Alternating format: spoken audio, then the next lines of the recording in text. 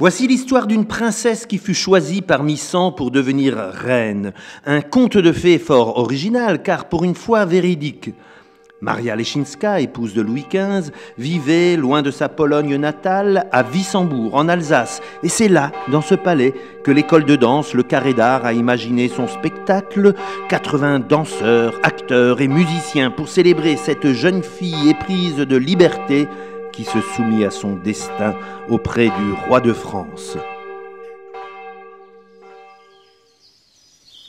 Je suis Maria, Maria Leszczyńska, princesse de Pologne. Mon père, le roi Stanislas, a dû fuir notre cher pays. Mes parents ont traîné leur malheur sur les routes d'Europe. Depuis six années, nous vivons à Wissembourg. Aujourd'hui, un peintre de la cour de Versailles vient faire mon portrait. Le roi, Louis XV, doit se marier. Il choisira parmi 99 princesses royales.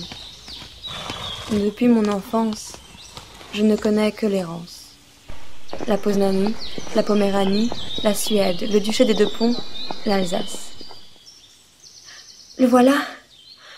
Ah, ce magnifique ennui qui nous sclérose. Ma vie de jeune fille fut vouée aux œuvres de charité et aux études.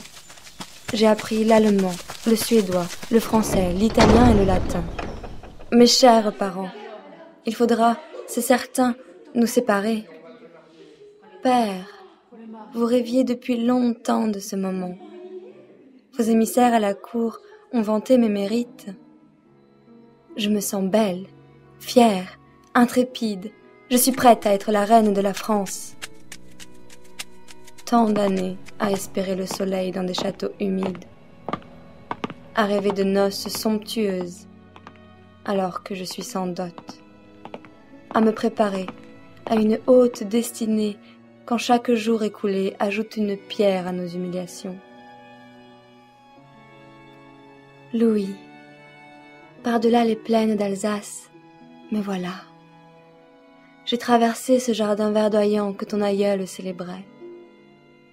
Et mon miroir me dit que c'est moi, ta petite Maria, la petite princesse de Wissembourg. C'est moi qui porterai la couronne. Adieu, les images de mon enfance.